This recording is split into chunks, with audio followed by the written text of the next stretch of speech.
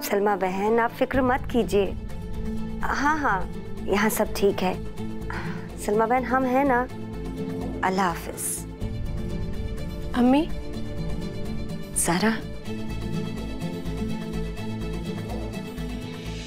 बेटा तुम्हारी अम्मा का फ़ोन था।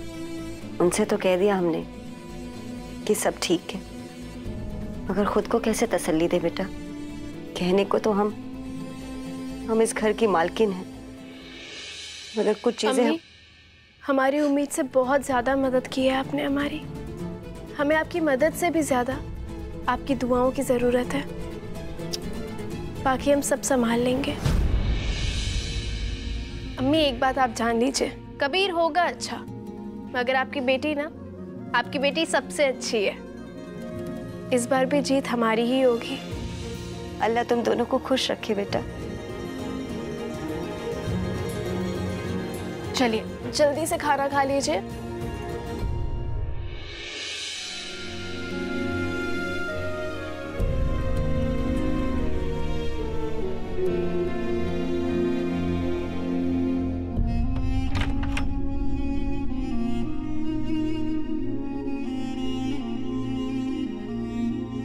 कबीर एक सवाल पूछे? पूछो। तलाक आखिरी रास्ता है या पहला? आखिरी। तो तुमने ये आखिरी रास्ता पहले क्यों चुन लिया कभी हमें डांटते समझाते सजा देते। तलाक तो ना देते। बहुत खूब। हम तुम्हें समझाते।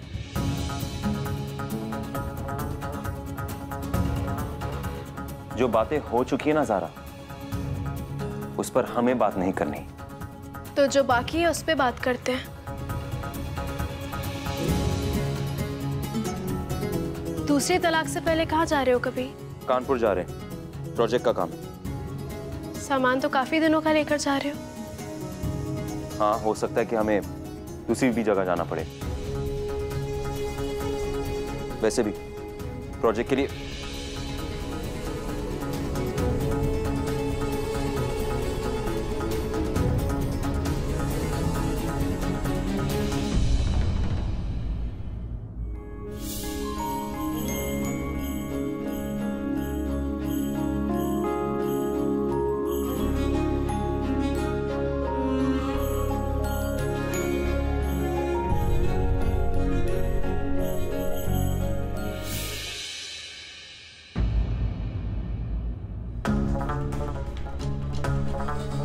प्रोजेक्ट में जो बच्चे हैं उनके लिए कुछ चीज़ों का इंतज़ाम करना।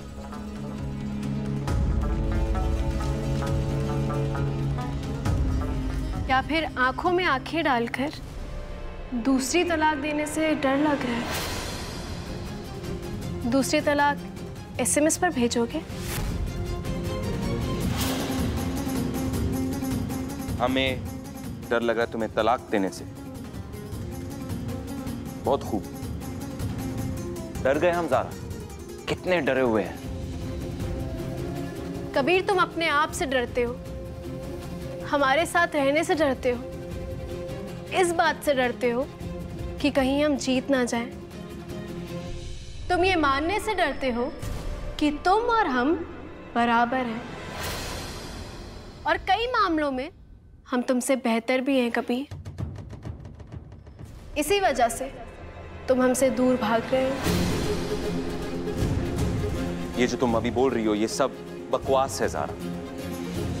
तो फिर ठीक है। अगर ये बकवास है तो तुम इस बेडरूम में तलाक के अगले तीस दिन क्यों नहीं गुजारते?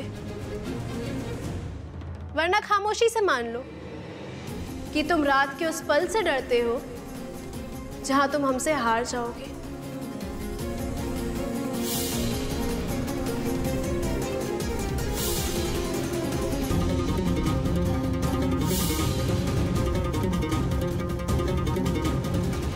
एक बात अच्छे से समझ लो। हम किसी से नहीं डरते, ना तुमसे, ना ना रात के, क्या कहा तुमने? किसी पल से। समझ गई?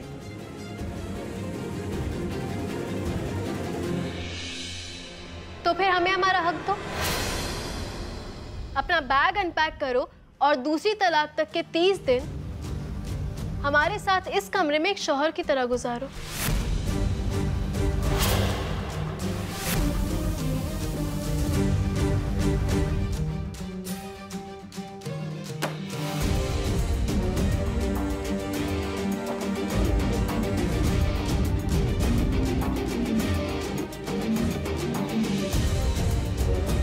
ठीक है जारा हम तुम्हारे साथ इस कमरे में तीस दिन बिताएँगे और उसके बाद उसके बाद दूसरी तलाक देंगे तुम्हें।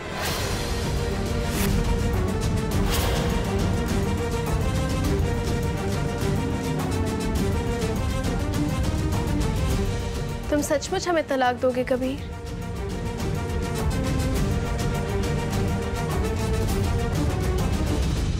हमारे और तुम्हारे रिश्ते के सिर्फ़ साठ दिन बचे हैं। तो क्यों ना इन साठ दिनों को अच्छे से गुजारे?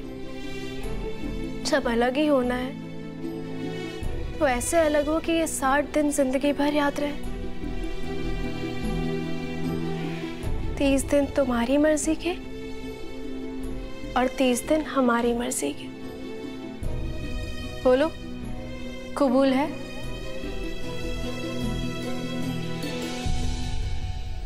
कबूल है।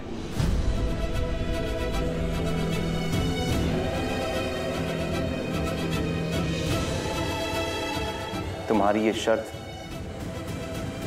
कबूल है। ठीक है। याद रखना कभी हाँ करने के बाद अपनी बात से मुकर मत जाना। शायद तुम भूल चुकी हो कि हमारा नाम क्या है। हमारा नाम है कबीर अहमद। और हम अपने कॉल के पक्के हैं जारा। ये भी साबित कर लेंगे।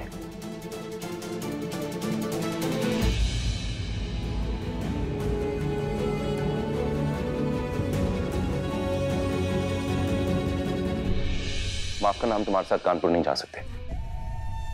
मगर क्यों कबीर? क्या बात क्या क्योंकि हमने कबीर को रोक लिया है।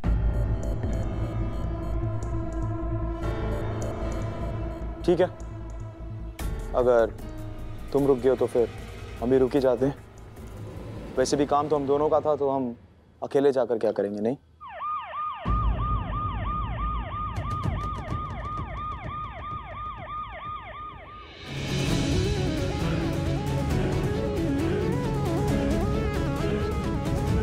अस्सलाम वालेकुम जनाब। यहाँ कबीर अहमद कौन है?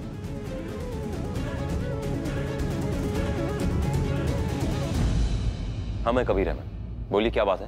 हमारे पास आपके खिलाफ कंप्लेंट आई है। आपने अपनी वाइफ को ट्रिपल तलाक दी है।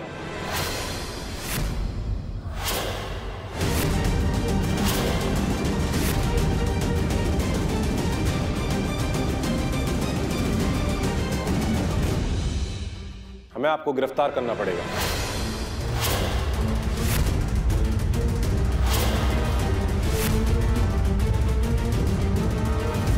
और ये कंप्लेन किसने की है? शहर की कुछ औरतों ने कंप्लेंट की है। और वो लोग कोर्ट में पीआईएल भी फ़ाइल करने वाले मगर इस बात का सबूत क्या है आपके पास इंस्पेक्टर साहब? क्या सबूत है कि कबीर ने ट्रिपल तलाक दी है? सबूत। हर न्यूज़ चैनल हर अखबार में इनके ट्रिपल तलाक देने के चर्चे हैं। और सर आप अभी सबूत मांग रहे हैं तो आजकल आपका डिपार्टमेंट न्यूज़ की बुनियाद पर कार्रवाई करने लग गया है। और हमारी यहाँ मौजूदगी इस बात का सबूत है कि हमारे बीच ट्रिपल तलाक नहीं हुई है।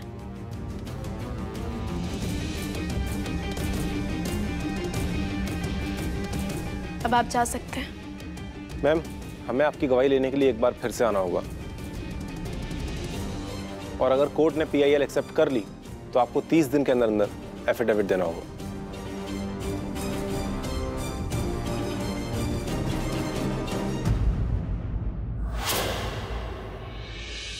अब बस यही दिन देखने बाकी तो रह गए थे। बात बात पे या तो इस घर के दरवाजे पे मीडिया आके खड़ी हो जाती है, या फिर पुलिस। वाह, क्या बात है सर। क्या पैतरा आजमाया तुमने? पहले खुद आग लगाती हो और फिर पानी डालकर उस आग को खुद ही बुझा देती हो।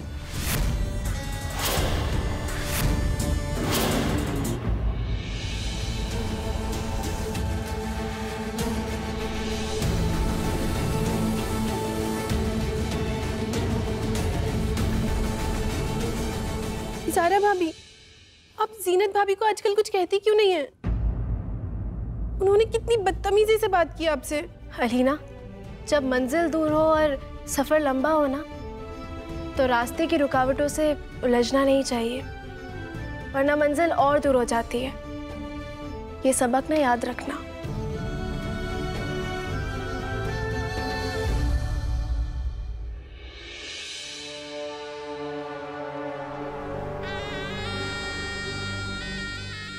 अल्लाह का शुक्र है कि तुम्हें जारा भाभी ने आज बचा लिया। वरना तुम्हारे और लॉकअप के बीच में हमें ज़्यादा फासला देख नहीं रहा था कभी। और हमारा यकीन मानो कि ऐसे मामलों में तो फेल भी आसानी से नहीं होती। ये भी एक वजह थी कि हम चाहते थे कि तुम हमारे साथ कानपुर चलो। नहीं, हम भागना नहीं चाहते। हम अपनी परेशानी बगैर किसी के मदद के सुलझाना चाहते हैं। और इसलिए इसकी शुरुआत आज हमारे प्रोजेक्ट से होगी। मगर तुमने कुछ सोचा है कि जारा को इस प्रोजेक्ट से कैसे रिजाइन कराना है? अभी तक तो नहीं। मगर आज सोच लेंगे।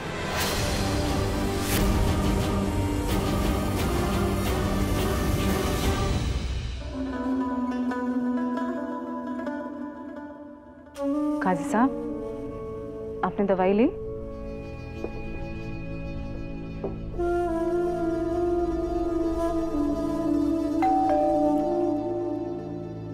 हम देखते हैं। पता नहीं कहाँ है शुभरातन।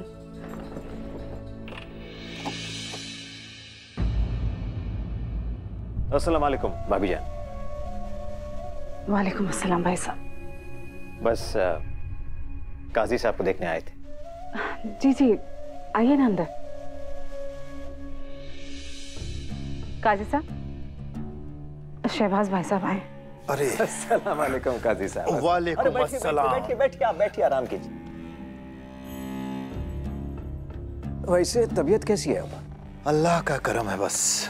अल्लाह का करम तो है काजी साहब मगर खुद का ख्याल तो रखना ही पड़ेगा आपको। जी। जान है तो जहाँ है। ये बात समझ लीजिए आप। वैसे भाभी जान शिकायत तो हमें आपसे भी है। कैसी भाई साहब? अरे काजी साहब की तबीयत को लेकर आप हमें कुछ बताती नहीं। और कुछ ना सही दुआ तो कर सकते हैं ना? अल्लाह ना करे लेकिन कभी ऐसा महसूस होगा ना तो सबसे पहले हम आप ही को फ़ोन करेंगे। बिल्कुल। और ये बात आप अपने जहन में उतार लीजिए कि सिर्फ़ हमारे लिए ही नहीं सारे लखनऊ के लिए आप बहुत कीमती हैं। तो चलिए इसी बात पर हम चलते हैं। इजाज़त दीजिए हमें। अरे अरे। बैठिए। अरे बेगम कुछ चाय वगैरह तो लेके आइए। बिल्कुल। कहा ना हमने तकल्लुफी की जरा भी ज़रूरत नहीं है। वैसे भी हमें कहीं पहुँचना है। इंशाअल्लाह बहुत जल्द फिर आएँगे। खुदा हाफिज। खुदा हाफिज।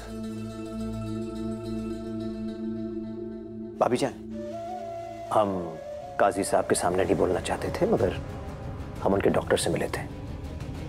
उन्होंने कहा कि काजी साहब के लिए किसी भी किस्म का टेंशन लेना उनकी जान के लिए खतरा पैदा कर सकता है। इस उम्र में आराम करना चाहिए उन्हें। कहा शरिया बोर्ड के मसलों को लेकर बेफिजूल परेशान रहते हैं। कजियात, क्या जान से बढ़कर? बुरा ना माने तो एक एक बात कहूँगी आपसे।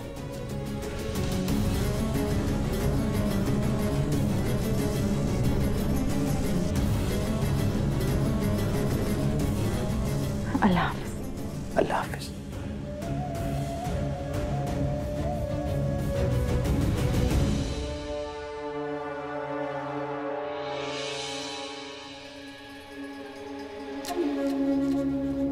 क्या कह रहे थे शहबाज मियाँ? अगर आप अपनी तबीयत के बिना पर अपनी कजियात से इस्तीफा दे दें तो कबीर शहर काजी बन जाएगा और आपके ऊपर से बोझ भी हल्का हो जाएगा। और उधर फिर से हमारी बेटी का घर बस जाएगा। तो हमारे समधी साहब हमारी तबीयत पूछने के बहाने कबीर को काजी बनाने का प्रपोजल लेकर आए थे। पर काजी साहब इसमें हर्ज ही क्या है? हर्ज है बेगम। एक हर्ज है। अगर हमने कबीर को शहर काजी बना दिया ना तो वो आदमी जिसका नाम शहबाज अहमद है वो तलाक को कभी रद्द नहीं होने देगा। हमारी कजियात तो हाथ से जाएगी ही। हमारी बेटी भी हमेशा हमेशा के लिए घर में आके बैठ जाएगी। इसका कोई तो हल होगा ना? इसका हल है हमारे पास बेगम। अगर दूसरी तलाक से पहले ये तलाक रद्द नहीं हुई तो शहबाज अहमद भी हमारी तरह परेशान हो जाएँगे।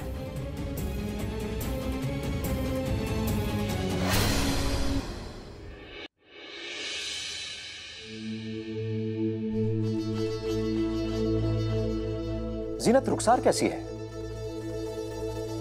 कई दिनों से उसकी कोई खबर नहीं। सब खैरियत? नहीं अब्बू कोई भी खबर नहीं है। हम तो बहुत दिनों से उसको फ़ोन मिलाने की कोशिश करें पर पता नहीं क्यों उसका फ़ोन स्विच ऑफ़ आ रहा है। पता नहीं अब्बू पर दिल बहुत घबरा रहा है। नहीं फ़िक्र मत करो सब ठीक ही होगा। आओ जारा आओ। भाई जारा के रहने का इंतज़ाम हुआ है कि नहीं? हम नहीं चाहते हैं कि हमारी बहू को कोई तकलीफ़ हो। नहीं अब्बू। अभी तक कोई इंतज़ाम नहीं हो पाया है। अबू रहने का इंतज़ाम करने की कोई ज़रूरत नहीं है। कबीर से हमारी बात हो गई है। हम अपने ही कमरे में रहेंगे।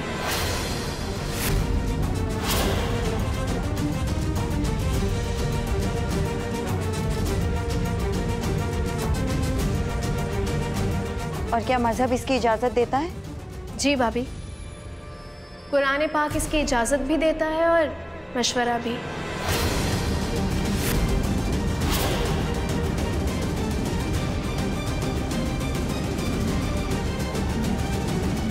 आते हैं अम्मी।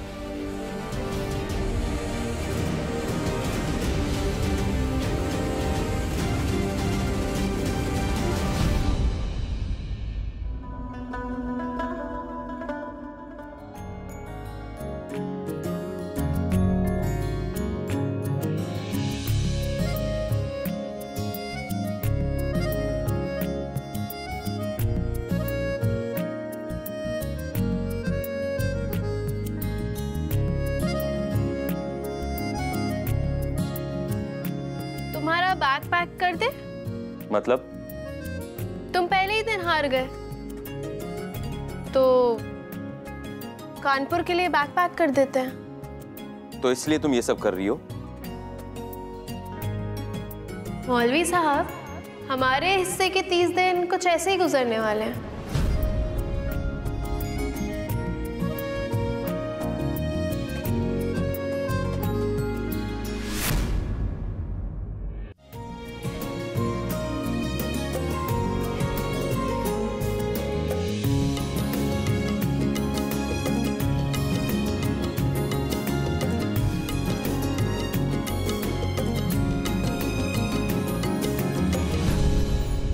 हमारे हिस्से के तीस दिन।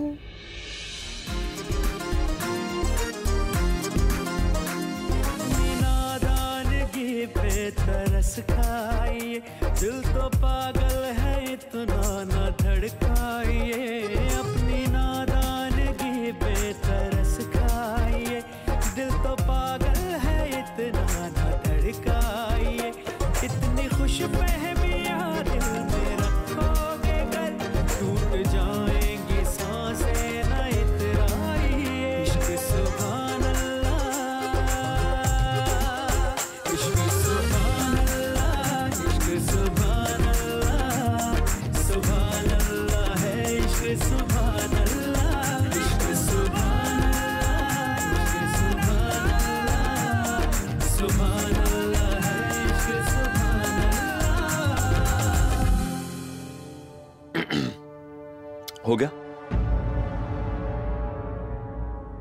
फिर ये ड्रामा बंद करते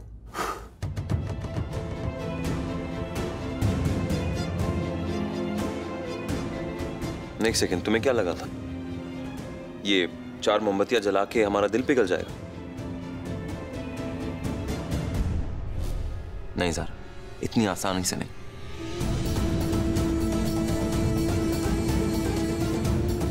टूटे हुए दिल ना, इतनी आसानी से नहीं जुड़ते। उसके लिए कुछ बड़ा करना पड़ता है।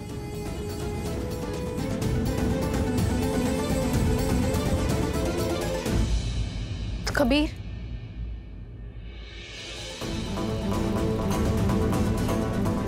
बताओ हमें कि क्या चाहते हो तुम? क्या करें हम हमें खुश देखना चाहती है? सारा हम चाहते हैं तुम हमारा प्रोजेक्ट छोड़ दो। हमारे प्रोजेक्ट से इस्तीफा दे दो।